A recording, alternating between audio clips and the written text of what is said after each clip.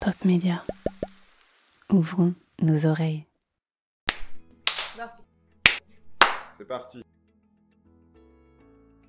Voir le soleil, c'est une euh, création, euh, une fiction sonore en sept épisodes. C'est une euh, histoire qui va raconter le, le parcours de formation d'une femme qui va devenir progressivement assistante sexuelle, bien que de prime abord, c'est pas quelque chose qu'elle avait imaginé du tout. Tu m'as présenté le projet, je me disais, oh, une comédie sociale qui, qui parle d'assistanat sexuel, c'est un peu risqué quand même. euh, J'espère que ça va pas être lourdos. Et en fait, euh, voilà, je partais pour lire euh, une scène et j'ai lu le script en entier en une nuit. Je me suis marrée et j'ai trouvé que c'était hyper chouette avec des beaux personnages. j'ai découvert l'assistanat sexuel.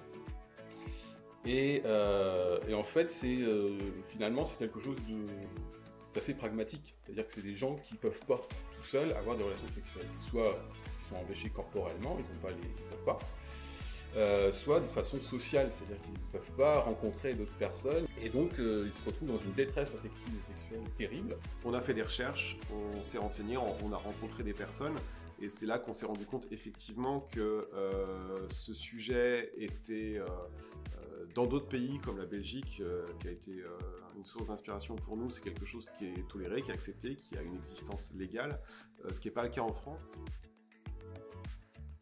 J'ai trouvé ça chouette que ce soit un projet audio. Ah, J'aime bien avoir un nouveau personnage à jouer, euh, parler devant un micro aussi.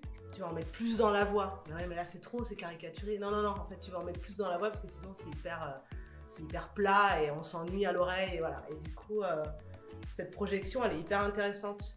De, voilà, qu'est-ce que ça va donner? Puis en plus, il va y avoir de la post-prod avec euh, un environnement sonore, tout ça.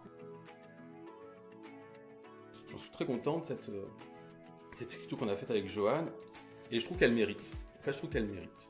Donc, euh, donner du fric, on en a besoin. Money, money, money. Et on compte sur vous pour faire un don et nous aider à faire ce podcast. Des sous, des sous.